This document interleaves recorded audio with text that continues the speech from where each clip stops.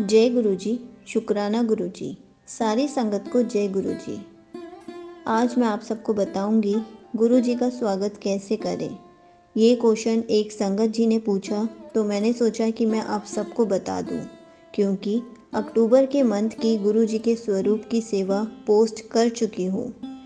जिन संगत के नाम अनाउंस किए थे, जैसे ही उनको मिल जाए प्लीज़ मुझे ज़रूर बता दें कि आपको मिल गए हैं। बहुत ही अच्छी इन्फॉर्मेशन दूँगी इस वीडियो में। इसलिए वीडियो को लाइक करके चैनल को सब्सक्राइब कर देना और कमेंट्स में जय गुरु जी लिखना मत भूलना। संगत जी, जैसे ही आपको गुरु जी का स्वरूप मिले तो आप सबसे पहले उसको फ्रेम करा लें और फिर जब भी आप घर लाएँ तो छोटा सा सत्संग कर लें, जिसमें सिर्फ़ आपके फैमिली मेंबर्स ही हों। अगर आप चाहें तो और संगत को भी बुला सकते हैं। वो सब आपकी पॉकेट पर डिपेंड करता है कि आप कितना स्पेंड करना चाहते हैं या फिर कैसे करना चाहते हैं।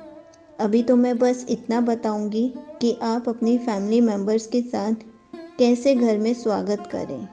गुरु जी को घर में स्थापित करने के टाइम अपने फैमिली मेंबर्स के साथ गुरु जी का स्वागत फूलों से करेंगे। मतलब जैसे ही आप अपने एंट्रेंस गेट से अंदर घुसेंगे घर की तरफ़। तो आप गुरु जी का फूलों से स्वागत करते हुए गुरु जी को स्थापित करेंगे। फिर गुरु जी के सामने जोत जलाकर जल प्रसाद ढक कर रखेंगे। फिर मंत्र जाप चलाकर गुरु जी के सामने बैठ जाएँ। उसके बाद शब्द गुरबानी चलाकर गुरु जी के लिए या चाय बिस्किट या चाय पकोड़ा या चाय समोसा कुछ भी लेकर आए। लेकिन जो भी लेकर आए, उसको ढक कर लाएँ। और गुरु जी के स्वरूप के आगे रख दें। और फिर 10-15 मिनट के बाद चाय प्रसाद और जो भी आपने साथ में रखा है, वो सबको खाने के लिए दे दें, क्योंकि वो प्रसाद है और उसको थोड़ा सा भी वेस्ट नहीं करना है। सारे फैमिली मेंबर्स ने उसको पूरा फिनिश करना है।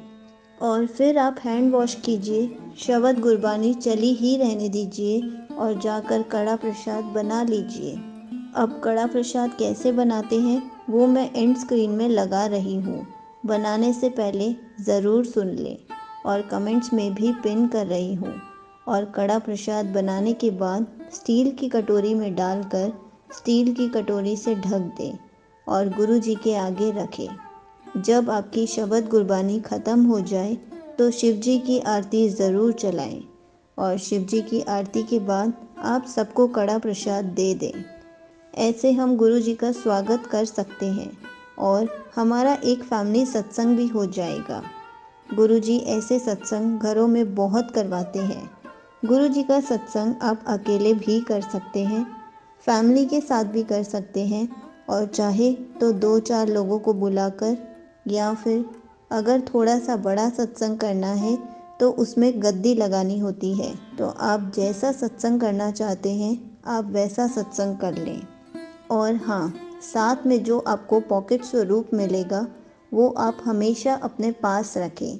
आप जहाँ भी जाएँ गुरु जी का पॉकेट स्वरूप अपने साथ ज़रूर लेकर जाएँ और गुरु जी को बोल कर जाएँ कि गुरु जी चलो मैं यहाँ जा रहा हूँ या चलो मैं यहाँ जा रही हूँ, आप भी मेरे साथ चलो।